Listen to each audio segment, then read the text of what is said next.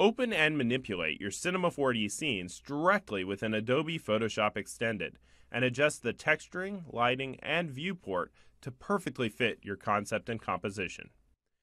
Cinema 4D has always offered outstanding integration with Adobe applications, from importing Illustrator and layered Photoshop files to its breakthrough integration with Adobe After Effects.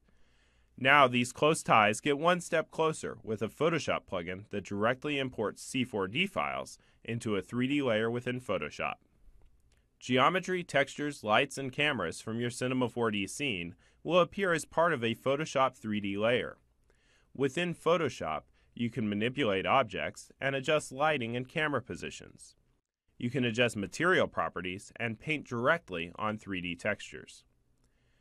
Since Photoshop doesn't offer the breadth of material options you find in Cinema 4D, you can use the Bake Object function to quickly adapt the UV coordinates of an object and generate texture maps from procedural shaders. For even greater control, you can utilize the Bake Texture tag. This powerful and predictable exchange frees designers from the hassle of translating between other file formats and opens up new opportunities to share and market Cinema 4D files to the broader Photoshop design community.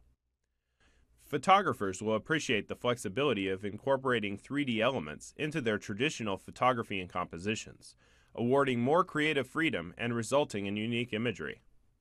Illustrators will enjoy the opportunity to directly manipulate product visualizations and other 3D elements while designing advertisements, packaging, and other promotional materials.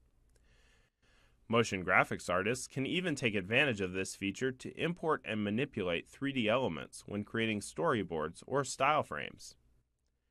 Regardless of how you utilize Cinema 4D, there's little doubt you use Adobe Photoshop as well.